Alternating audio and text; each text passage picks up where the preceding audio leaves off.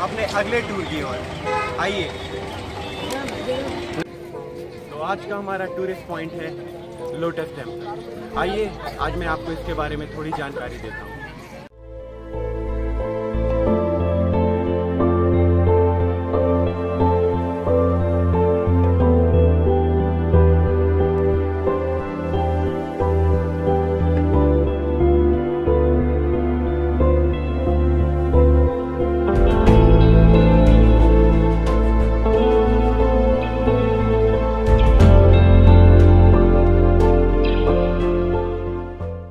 Lotus temple जैसा कि आप देख सकते हैं, मेरे बिल्कुल पीछे ये लोटस टेंपल है।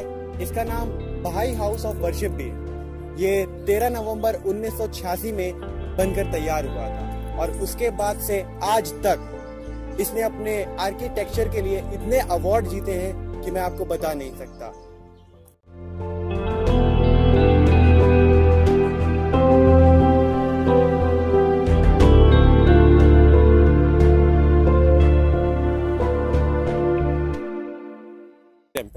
इसका नाम लोटस टेंपल कैसे बना इसका नाम लोटस टेंपल इसलिए बना क्योंकि ये देखने में एक लोटस की तरह है। और एक लोटस की तरह होने का आप देख सकते हैं कि इसमें 27 पेटल्स हैं। तो ये जो 27 पेटल हैं, ये नौ नौ के समूह में है, जिसमें नौ अंदर हैं, नौ बाहर हैं और नौ उसके और बाहर। और जो सबसे बाहर वाले पेटल हैं नौ, वो इसके नौ दरवाजे हैं, जिसके ज़रिए हम इसके अंदर घुस सकते हैं।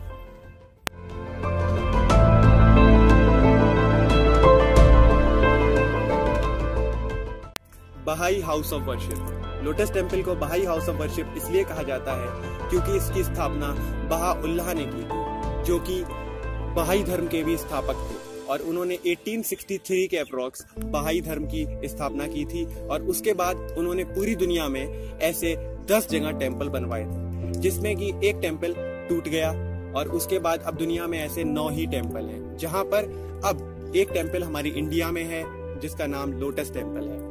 लोटस टेंपल सिर्फ़ किसी एक धर्म के लिए नहीं है, बल्कि ये दुनिया के हर धर्म के लिए खुला है। यहाँ पर किसी भी धर्म का इंसान आकर यहाँ बैठकर अपनी दुआ करना, अपनी पूजा करना कुछ भी कर सकता है। अपने शांत मन से अपने ईश्वर को याद कर सकता है। इसकी खूबसूरती की अगर बात करें तो इसकी खूबसूरती इसकी आर्किटेक्चर की वजह से इस मंदिर को बनाने में जो आर्किटेक्ट आए थे, वो ईरान के थे, जिनका नाम फरीबोस साहबा था। उसके बाद यूके की एक फर्म, जिसका नाम था फ्लिंट एंड नील उसने इसका कंस्ट्रक्शन लिया और उसके बाद ईसीसी कंस्ट्रक्शन ग्रुप द्वारा 18 महीने में इसको बनाया गया था। जैसा कि आप देख सकते हैं, वहाँ पर सोलर पैनल लगे हैं। इस मंदिर का कुल बिजली खपत है 500 किलोवाट, जिसमें से 120 किलोवाट बिजली यहाँ खुद से बन जाती है और इस तरह मासिक रूप से एक लाख बीस हज़ार रुपए की बचत होती है। इस मंदिर के लिए भूमि दान अर्धशीर रुस्तमपुर ने की थी, जिन्होंने अपनी ज़िंदगी की सारी कमाई इस नेक इरादे में समर्पित कर दी। तो दोस्तों, लोटस टेंपल घूमने के लिए हमें कुछ इंस्ट्रक्शंस को फॉलो करना पड़ता है। जैसे कि यहाँ पर खाने पीने की चीज़ लाना बिल्कुल मना है, और उसके बाद लोटस टेंपल के अंदर फोटोग्राफी करना भी मना है।